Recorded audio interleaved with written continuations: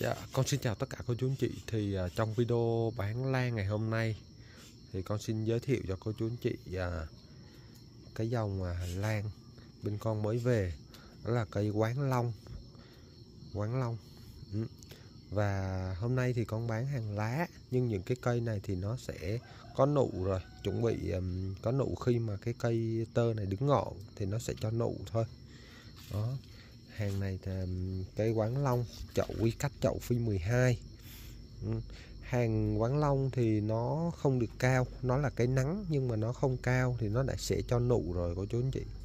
Lá xoắn à, hoa màu đỏ rất là đẹp đặc trưng cây quán long là thân của nó rất là đỏ. Đây thì hôm nay con bán sale cho cô chú anh chị là combo 3 chậu quán long với giá 140.000 con bao ship toàn quốc cho cô chú anh chị luôn và đặc biệt hôm nay thì ờ, con sẽ tặng thêm cho cô chú chị ba túi phân mít để cô chú chị về mình thay chậu mình bỏ lên. Đây sử dụng được khoảng 3 tháng.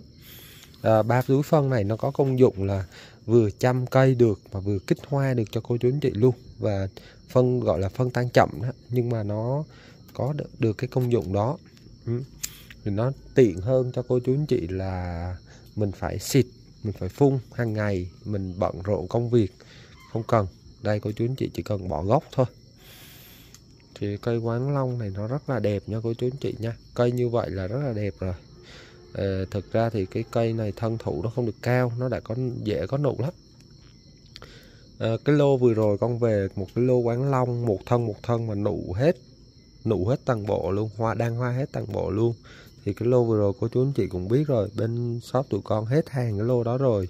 À, lô này thì nó đẹp hơn mà nó rẻ hơn. Đó thì chỉ với 140 thôi. Cô chú anh chị đã sở hữu được ba chậu mà còn bao ship tặng kèm cho cô chú anh chị ba gói à, làm bông bỏ gốc. À, dạ con xin cảm ơn tất cả cô chú anh chị.